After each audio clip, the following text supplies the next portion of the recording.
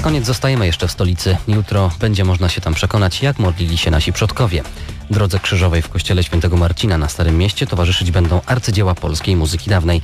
Nie zabraknie muzycznych perełek. Skarb renesansowej pieśni pasyjnej Krzyżu Święty i Chwalebny. Żołtarz Jezusów autorstwa błogosławionego Władysława Zgielniowa. Godzinki o męce pańskiej z kancjonału Jana z Witowa z 1425 roku. Mówi Krzysztof Olszyński, szef projektu muzyczno-liturgicznego Wschód-Zachód, który dodaje, że muzyków projektu można usłyszeć także przy wielu innych okazjach. Przy okazji uroczystości niepokalanego poczęcia Najświętszej Maryi Panny, uroczystości Narodzenia Pańskiego, przygotowując również nabożeństwo październikowe opierające się na pieśniach średniowiecznych z Katalonii i różańca wypominkowego, którego tło stanowił chorał gregoriański. A jutro rozważaniom Drogi Krzyżowej towarzyszyć będą nie tylko średniowieczne i renesansowe pieśni pasyjne, ale też poezja sprzed wieków, na przykład słynny lament świętokrzyski.